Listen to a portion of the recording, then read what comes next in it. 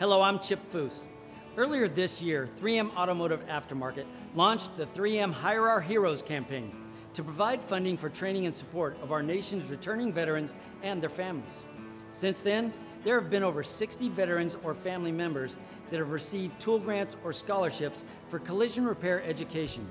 Through Hire Our Heroes, 3M has also contributed to the Automotivation Program, which offers automotive rehabilitation for our wounded veterans. I am proud to be a part of Hire Our Heroes and proud that 3M has asked me to design the paint scheme that will run on the number 16 3M Ford Fusion, driven by none other than Greg Biffle at the November race in Texas. I'll be at the race cheering Greg on as he competes for the NASCAR Sprint Cup Championship. This race will also be an opportunity to recognize some of the veterans working in our industry and the shop owners that hired them.